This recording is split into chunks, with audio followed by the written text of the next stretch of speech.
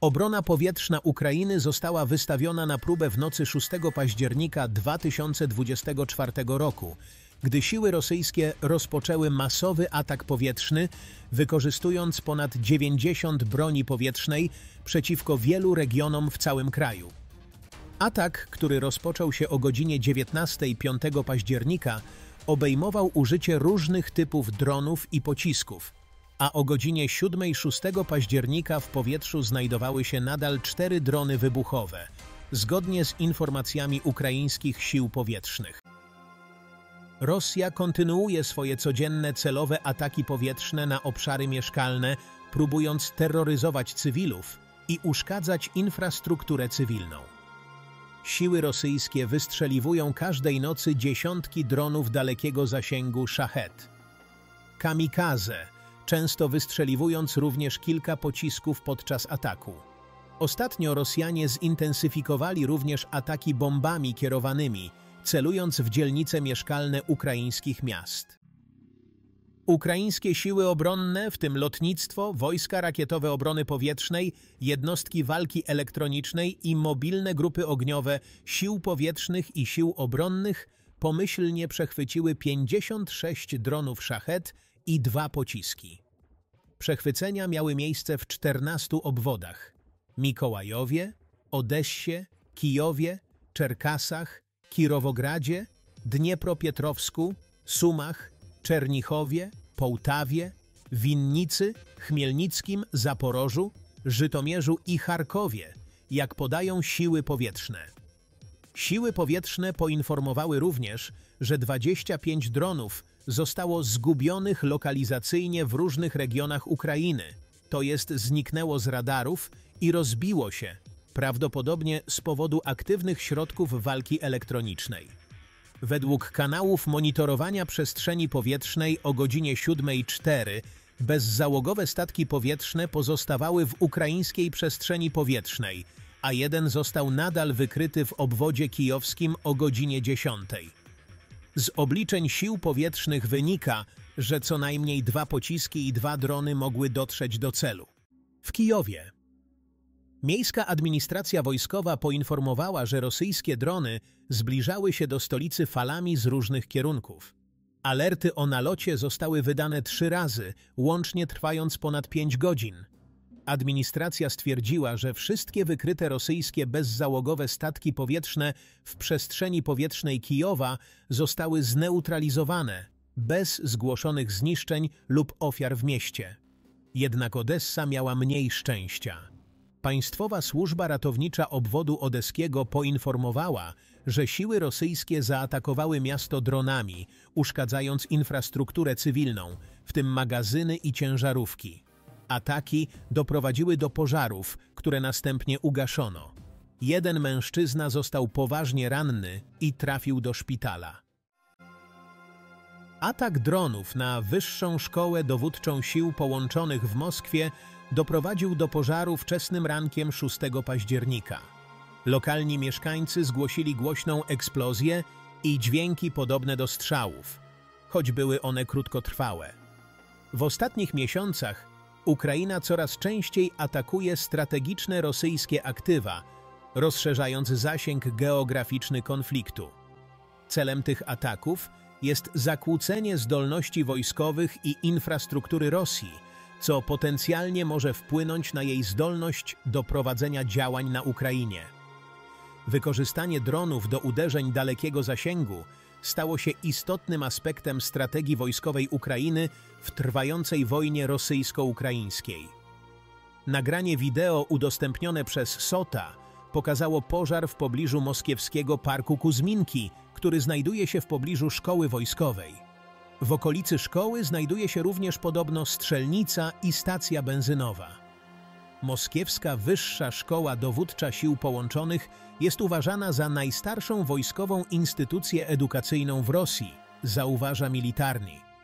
Od 2015 roku szkoli kadrę dowódczą z wyższym wykształceniem wojskowo-specjalnym dla wojsk zmechanizowanych i sił lądowych Sił Zbrojnych Rosji. Ten incydent jest częścią zintensyfikowanej kampanii dalekiego zasięgu uderzeń Ukrainy na terytorium Rosji w ciągu ostatnich kilku miesięcy. Operacje te często obejmują jednoczesne wystrzeliwanie kilkudziesięciu dronów w strategiczne cele, w tym bazy lotnicze, magazyny ropy naftowej, składy amunicji i instalacje wojskowe. Wykonywanie tych dalekiego zasięgu uderzeń dronów jest koordynowane przez służby wywiadowcze działające w warunkach tajemnicy. W ramach jednej misji dziesiątki dronów może zostać wystrzelonych w jeden cel, a ataki odbywają się głównie w nocy. Niedawno Ukraina wezwała do zburzenia mostu kerczeńskiego Rosji w sprawie przeciwko Rosji w Międzynarodowym Trybunale w Hadze, powołując się na naruszenia prawa morskiego i obawy dotyczące środowiska. Ukraiński dyplomata przekazał uwagi na temat sprawy Ukrinformowi. Okupowany Krym pełni funkcję rosyjskiej bazy wojskowej, działając jako trampolina do rosyjskich ofensyw na południowym wybrzeżu Ukrainy, konsolidując siły rosyjskie i wzmacniając zdolności operacyjne. W latach 2017-2020 Rosja zbudowała mosty drogowe i kolejowe kerczeńskie, łączące Półwysep Tamański z okupowanym Krymem, aby zabezpieczyć kluczową trasę logistyczną na okupowane terytorium. Żądanie zburzenia tzw. Tak mostu kerczeńskiego jest absolutnie logiczne, ponieważ jest to przeszkoda dla wolności żeglugi, która trwa. Korynewych argumentował, że most będzie nadal szkodził i naruszał wolność żeglugi nawet po wyzwoleniu ukraińskich portów w Mariupolu i Berdiańsku.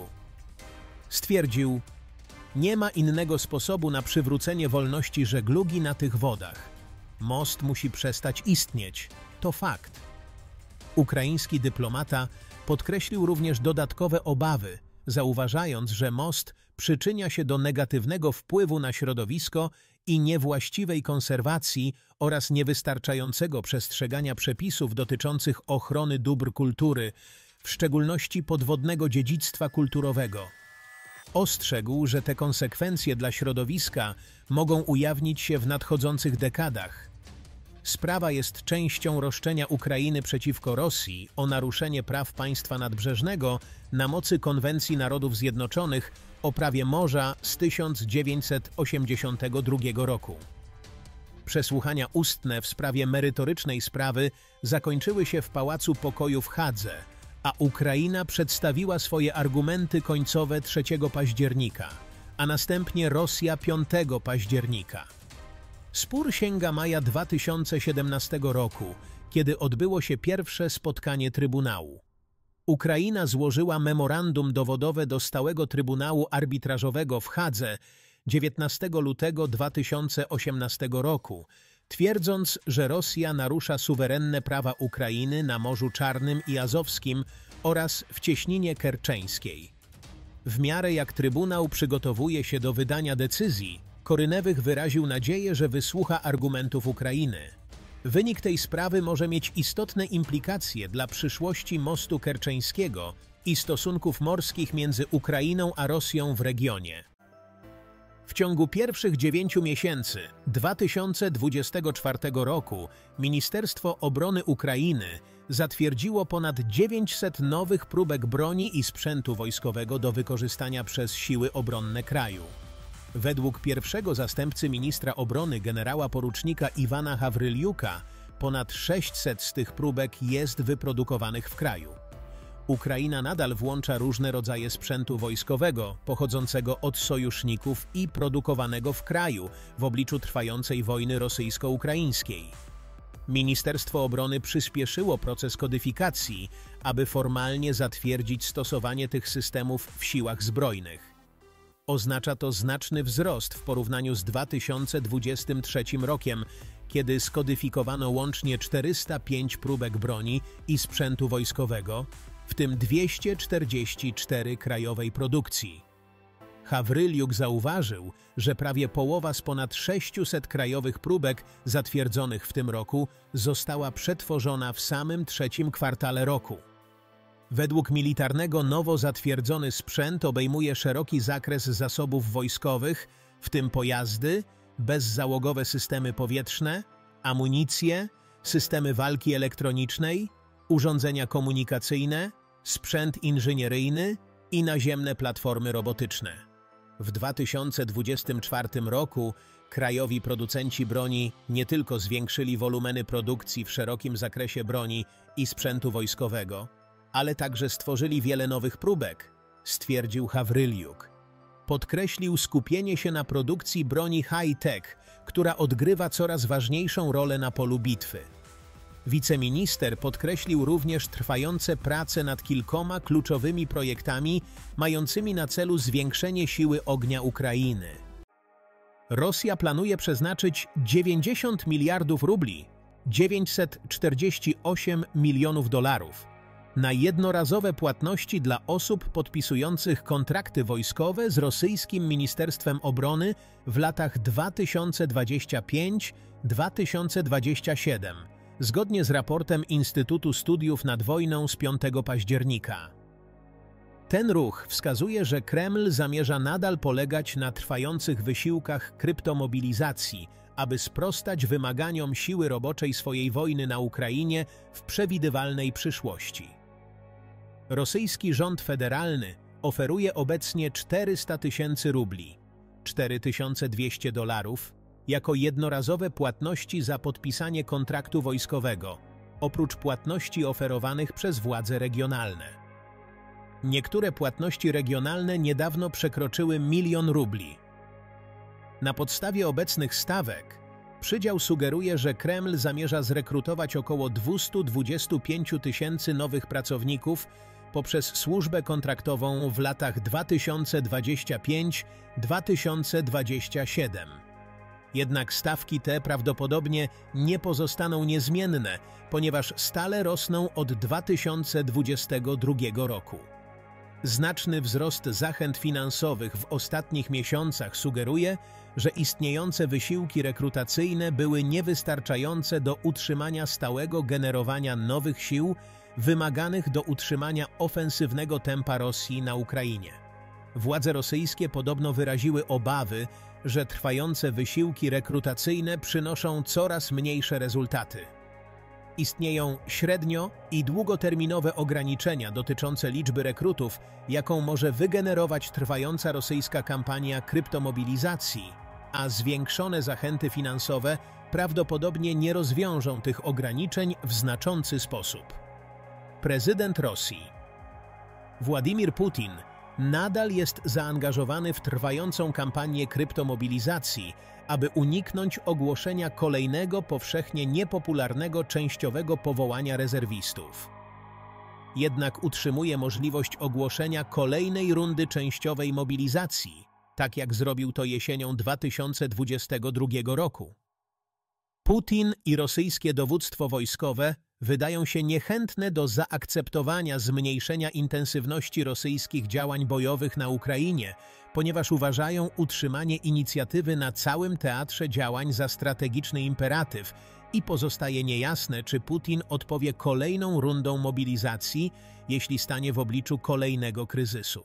Ukraina znajduje się w niepewnej sytuacji w kwestii swojego przyszłego bezpieczeństwa po niedawnej wizycie prezydenta Wołodymira Zełenskiego w Stanach Zjednoczonych w trakcie trwającej wojny rosyjsko-ukraińskiej.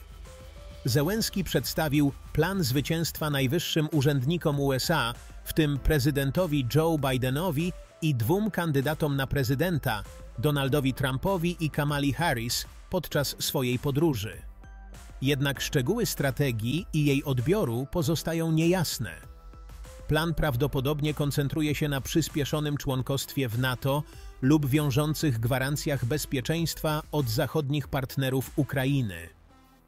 Wizyta Zełenskiego nie przyniosła znaczących rezultatów w Waszyngtonie. Prezydent Biden utrzymał swoje stanowisko przeciwko dostarczaniu rakiet dalekiego zasięgu zdolnych do uderzenia wewnątrz Rosji. Zełenski stanął również przed wyzwaniami ze strony wpływowych republikanów, którzy w dużej mierze go krytykowali lub lekceważyli.